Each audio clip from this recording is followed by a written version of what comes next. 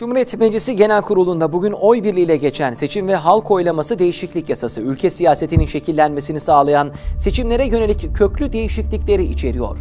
Halen 5 seçim bölgesi bulunan Kuzey Kıbrıs Türk Cumhuriyeti'nde yasanın Cumhurbaşkanınca imzalanıp resmi gazetede yayınlanarak yürürlüğe girmesiyle tek seçim bölgesi olacak.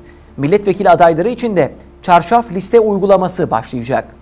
Seçmenler yasanın yürürlüğe girmesiyle sadece ikamet ettikleri ilçedeki milletvekillerini seçmeyecek.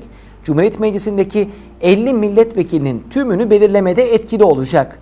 Kuzey Kıbrıs Türk Cumhuriyeti'nde halen 5 seçim bölgesi 50 sandalyeli Cumhuriyet Meclisi'nde de Lefkoşa'dan 16, Mausa'dan 13, Girne'den 10, Güzelyurt'tan 6 ve İskele'den de 5 milletvekili bulunuyor.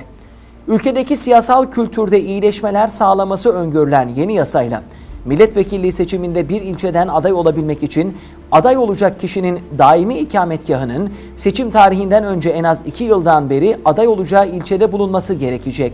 Ancak bir kişinin daimi ikameti son 2 yıl içerisinde değişmiş ve herhangi bir ilçede 2 yıl süreyle ikamet etmemişse seçim tarihinden önceki son 2 yıl içerisinde en uzun süre ikamet ettiği ilçeden aday olabilecek.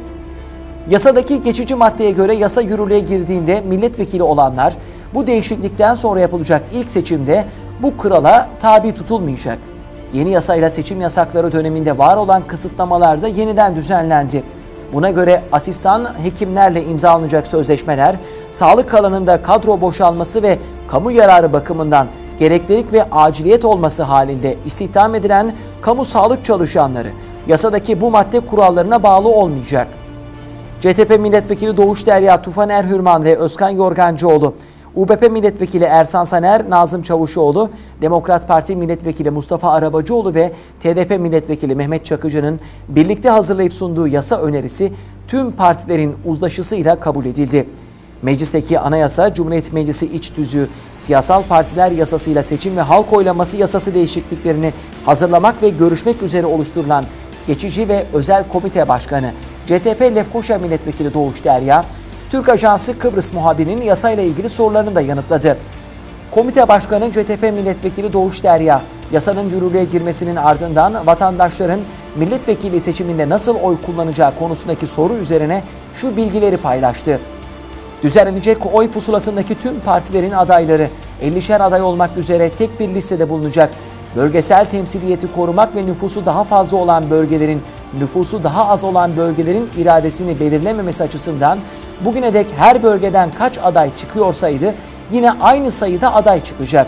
Örneğin Lefkoşa 16 aday, Mausa 13 aday, Girne 10 aday şeklinde. Mühür kullanan seçmenlerin her bölge için en fazla aday sayısının yarısı kadar tercih kullanabilme hakkı da olacak. Örneğin mühür kullanan bir seçmen Lefkoşa için en fazla 8, Mausa için en fazla 6, Girne için en fazla 5 tercih yapma hakkına sahip. Karma oy kullanmayı tercih eden seçmenlerin de en az 2 parti veya 1 parti ve bağımsız adaylar arasında seçim yapma imkanı var.